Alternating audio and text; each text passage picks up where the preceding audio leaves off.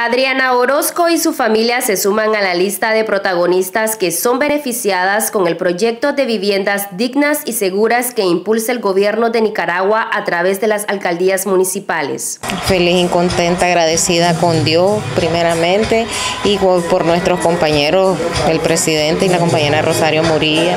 Contenta, ya no voy a seguir alquilando porque alquilando no me permitía construir aquí y ahora gracias a Dios soy beneficiada por este buen gobierno y espero en Dios que sigamos beneficiando a más personas este buen gobierno. Con mis 20 años ya con, con lo que he vivido, pues tener esta vivienda es, por gracias a Dios, es un, hecho, un sueño hecho realidad. Autoridades de la alcaldía de Huigalpa entregaron las llaves de la vivienda a la feliz familia en el barrio Rey Jesús. Una más de las 40 que vamos a entregar esta, este fin de año y parte del próximo año. Y el próximo año vendrán más viviendas para más pobladores que la necesitan. Nuestro gobierno siempre cumpliendo con su mandato, beneficiando a muchas familias que son de escasos recursos. Este proyecto viene a cambiar radicalmente las condiciones de vida de las familias que por años han soñado en tener una casa propia, digna y bonita.